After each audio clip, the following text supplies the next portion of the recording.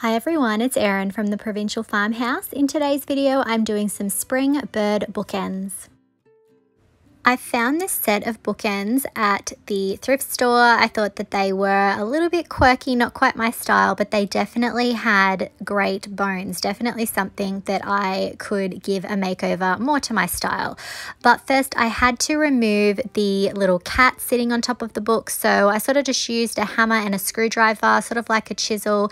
And then I used the end of my hammer to pry that cat off. And I did the same thing with the sun. To replace the cats, I'm going to be using these little ceramic birds. They are something that I carry in my shop and I felt like the scale was perfect and these are perfect for Easter and spring decoration. To prime these birds, I'm going to be using Paint Couture's 2-in-1 primer in white and I'm applying it to each of the birds with a sponge and I'll be doing two coats. While my birds are drying, I'm going to focus on the books themselves and I'm going to give the area where the cat used to sit a bit of a sand to try and make it as even as possible. I'm then going to take Paint Couture's embossing medium and using a palette knife, I'm going to lay down a thin layer to try and even out the surface. You could definitely use some sort of spackle filler for this step. I picked this because I had it on hand and also it tends to dry a little bit quicker than filler would. When the embossing medium is dry, I'm going to take that two-in-one primer again and I am going to coat the entire book both the left and right bookends with this primer. This is going to seal in and ensure that I won't get any bleed through and it will also make sure that my paint sticks well. Remember, you can find a full product list in the description below and most of these products on our website, theprovincialfarmhouse.com.au. When the primer is dry, I'm going to use a combination of Gorilla Super Glue and hot glue on the base of each of my birds to attach it to the book stacks.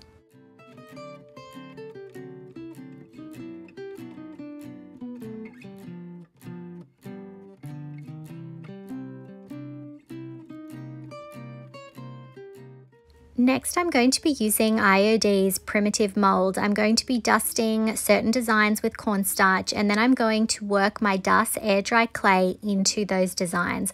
I'm going to be making quite a few of these, repeating a lot of these designs. Basically, I want it to look like my birds are sitting on a bed or a nest of flowers and leaves. So I definitely had to create quite a few of these castings. Don't worry, I didn't make you sit through me doing them all. So you're just going to see me make one of each of the designs that I'm going to be using. So I've made a lot of those leaf designs. Now I'm going to make a couple of those flowers. And I also took IOD's Village Market mold and I'm just working it into the florals in that design. I'm then working some clay into these smaller flower designs that I found online. I'll be sure to link them. I always think it's a good idea to have a bit of variation in size when you're putting together your molds. I also used this sort of medium size mold here. This has a lot of different style flowers, so I did cast quite a few different designs again to have that variety. I'm also going to be casting a few of the leaf designs from this mold. There is a smaller design and a larger design. And then I'm going to use my Selleys Quickset wood glue to start attaching my casting. So at this point, I'm just adding that village market mold around the base of the bird. And once that's secure, I'm then going to start adding some of the greenery from the primitive mold. And you can see I'm sort of draping that greenery over the book so it's sort of spilling over the edge. I'm also layering in some of those leaves that we cast as well. So you can see that I'm gluing down a lot of the leaf designs first and then I'll be coming in with the florals that we cast before. So just layering those flowers and I'm also sort of folding and bending and manipulating those flowers so it looks like the bird is sitting on them. I just wanted to give this a little bit of a lifelike appearance, make it look a little bit more natural, like maybe the bird had collected the florals and made a nest for themselves. If you're going to try this, obviously it will be up to you as to how many flowers you add. I just really wanted to give you an idea of how I laid out my different designs. I also put this larger leaf design in the back section from the primitive mold and I also added the smaller flowers from that mold as well. Next, I did cast a couple of these little berries. I tried to do a few different sizes and I just sort of scattered them about. I did definitely have to condense this video. It would have been quite a long one if I didn't condense it. Hopefully you'll be able to tell from the photos at the end how it all came together. And I did do a very similar design on the other bookend.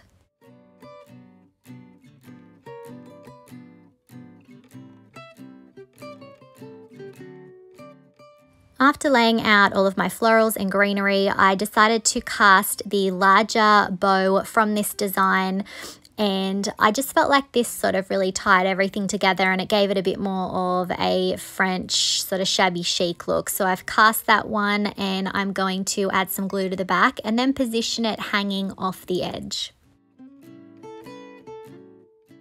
I also wanted it to look like some of the greenery had fallen over the edge. So I've taken this leaf and I'm actually bending this design and manipulating it a little bit to make it look like it's fallen and sort of maybe started to dry a little bit in the corner there. And I also added a couple of leaves and some flowers. So I'm just experimenting with how I can bend and sort of manipulate these castings to a point. On the other bookend design, you can see I also added a sort of curled up little leaf design on the edge there and a couple of other leaves and also some florals. I definitely just had a bit of a play. I wanted it to definitely feel a little bit more natural, like things had fallen down off the top.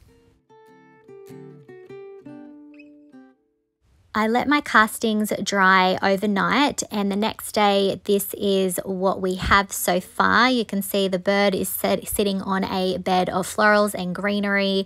They are pretty similar in design. Obviously the position of each of the florals and greenery are not going to be exactly the same. I'm then coming in with Paint Couture's Peace Mineral Paint. I'm going to go over just the book sections. It doesn't matter if I go a little bit over the greenery and florals that we added because obviously I am going to be going over the top of those with some colors, but I just really wanted to get this base down first.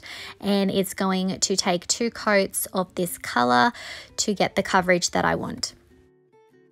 So I'm making sure that I'm not going too much over the sections where the book pages are, but I do want the sort of border of the book the book covers, I should say, I obviously want to have some of that tone on those sections.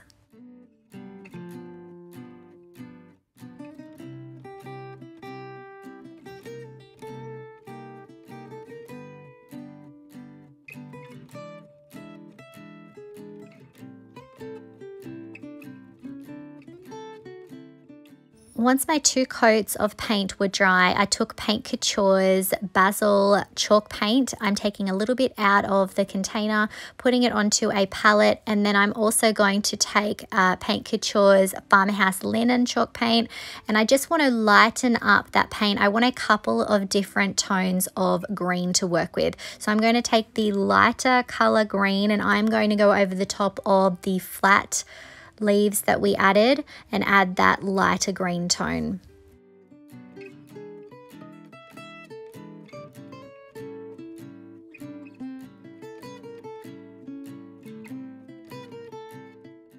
On the other greenery that we added, I did take the lid of the basil chalk paint and I decided to come in with that tone again just to create some variety and contrast. Obviously leaves in real life are not going to all be the same green tone. So I'm just going to work my way around my molds, adding those different tones of green. And obviously whatever I do on this bookend, I am going to repeat on the other side.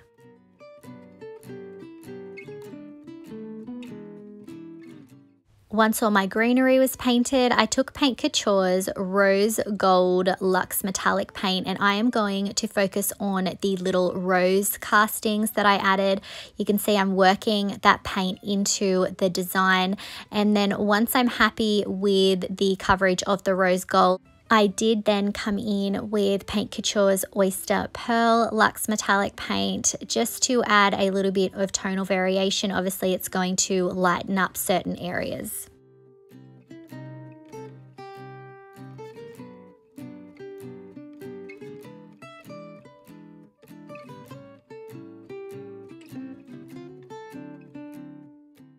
After adding the same color combination on each of the rose designs, I took Paint Couture's Ballet Slipper Lux Metallic Paint and I'm adding it to the other florals there with the larger petals. This is such a beautiful baby pink. It is so shiny, just definitely one of my new favorites to be using for Easter and spring crafts and definitely Valentine's Day too.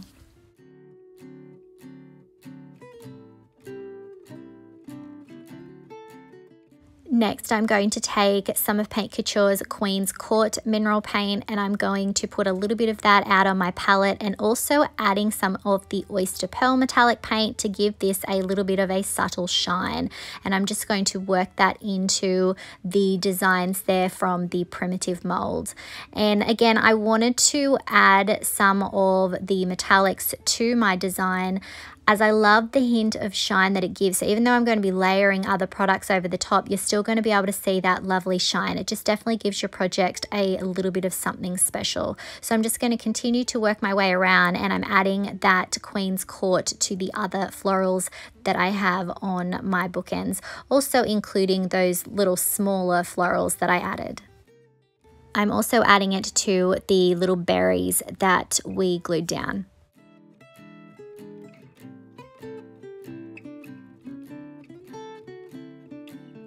Once my paint is completely dry, I'm going to take some of that farmhouse linen. I'm pulling off the excess and now I'm doing some dry brushing over the top of the paint that we've just put down. I want this to have an aged, faded, sort of dusty look to it. So I'm just going to work my way around adding that dry brushing to my florals and greenery. We're also going to be laying that same paint down over the top of the book itself.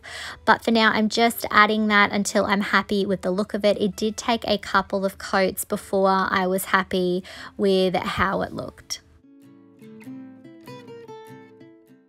for the actual book sections, I did go in a little bit heavier with that paint. Ultimately, I want the Peace paint that we added first to be an undertone. I want that to help give the appearance of age. So we're really going in and layering the, those colors over the top of it. So I'm going to keep working that paint into those details. You can see it's skipping over some of the texture. Again, this is going to add to the age and it did actually end up taking two coats for me to be happy with the way that it looked.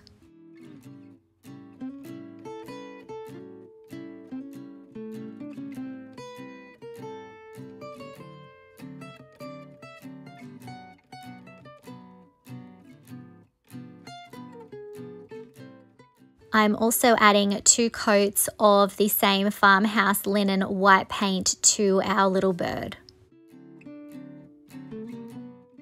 You can see here on the second coat over the books, it really starts to all tie together. The tones start to work nicely. I definitely still feel that that Peace tone underneath was necessary. It just adds to that aged layered look. Next, I'm coming in with Paint Couture's Van Dyke Brown Glaze and I'm just adding a little bit to the center of each of the flowers.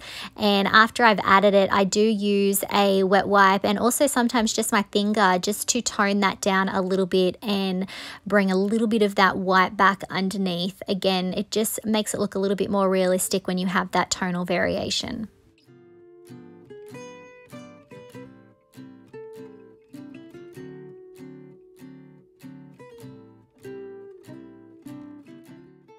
When the glaze was dry, I took Paint Couture's Extreme Guard in satin top coat and I am going to seal the entire project except for our bird. If I've inspired you to try any of these Paint Couture products, I would really appreciate it if you would use my affiliate link. You will find the link in the description and I will put it on the screen. I just get a little thank you from Paint Couture in return. Once my top coat is dry, I'm going to take Paint Couture's Crackle Step 1 and I'm going to be applying it to the bird. I'm applying it in a dabbing motion. I'm building up that product. I'm adding it in this way so that I get more authentic looking crackle as opposed to just brushing it on. Sometimes that you can get the alligator crackle, which doesn't look as great. I'm also adding a little bit to the book themselves in a few random areas. Once step one is dry and sticky to the touch, I'm coming in with step two and applying it in the same dabbing motion. I'm being careful though not to be too rough so that I don't disturb that step one. when I'm finished applying it back over the same sections that I applied it in step one, I'm going to let this crackle medium dry for several hours. Next, I'm going to use Paint Couture's Van Dyke Brown Glaze and I'm going to add it over my bird first. And you can see that as soon as I start adding this, you can see the beautiful crackle that we've managed to achieve. I'm going to work in sections and then I'm going to use a wet wipe to wipe back some of the excess so that it stays mainly in the cracks. Obviously, I do want a bit of a vintage look for this project, so I am still going to allow it to tone my paint and give my paint an antique look, but we do want it darker in those cracks.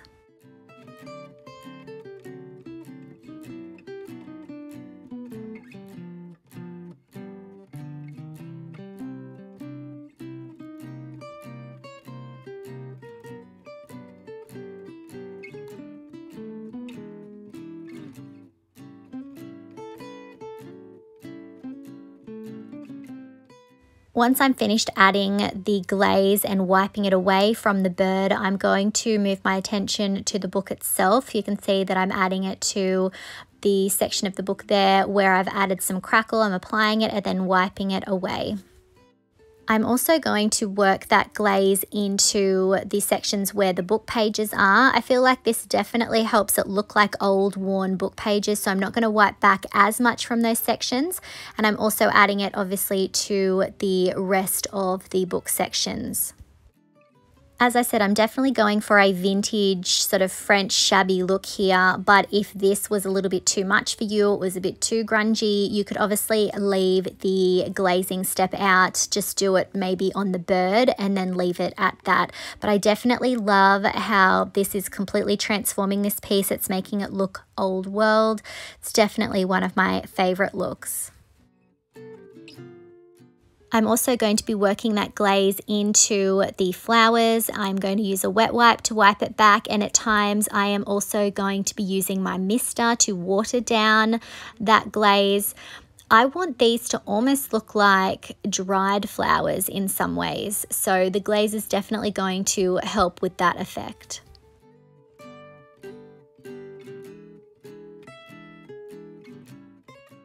If you don't have access to this particular product, you could create a brown paint wash with some brown water-based paint, or you could use a brown wax or a black wax. It just depends on what look you're after and what products you have.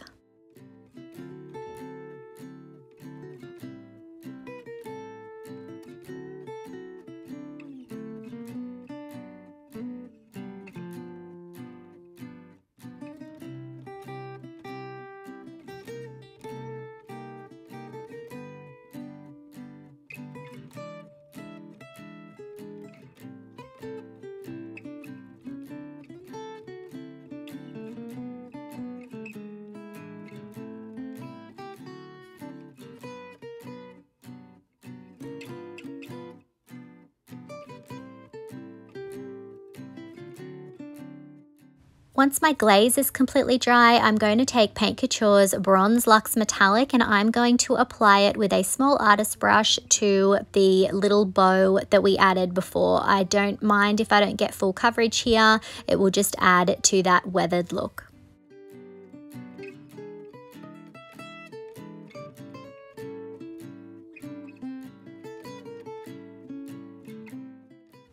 After applying it to the bow, I'm going to be applying a little bit of it to the center of each of our flowers, just a subtle hint of that beautiful bronze.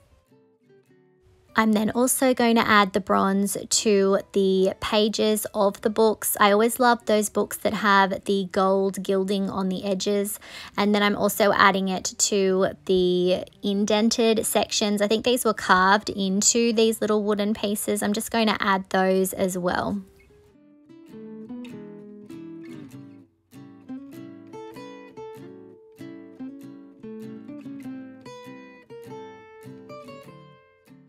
I also then added some of that bronze to our little bird's beak. Now obviously I'm going to be repeating the same steps on our other bookend. Next, I'm going to add that ballet slipper lux metallic paint. I've just got a little bit on my finger and I'm going to run it just over the edge of our pink flowers just to bring back a little bit more of that metallic. Finally, I'm also going to take some of the Oyster Pearl Lux Metallic Paint. I have a little bit on my finger and I'm just going to go over the top of some of the leaves. And here are our finished spring bird bookends.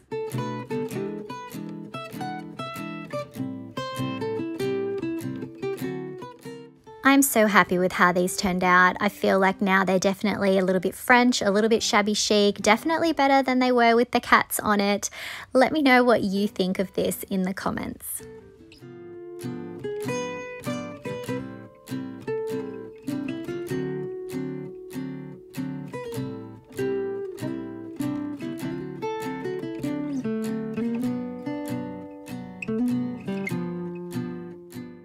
If you enjoyed today's video, I would really appreciate it if you would hit that like button, comment, and share it out.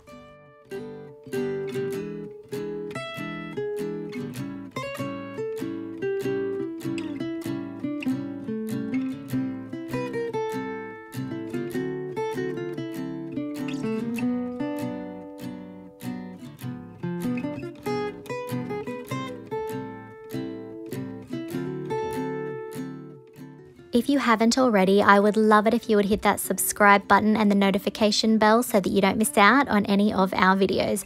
You can find the products used today on our website, theprovincialfarmhouse.com.au. Thanks for watching.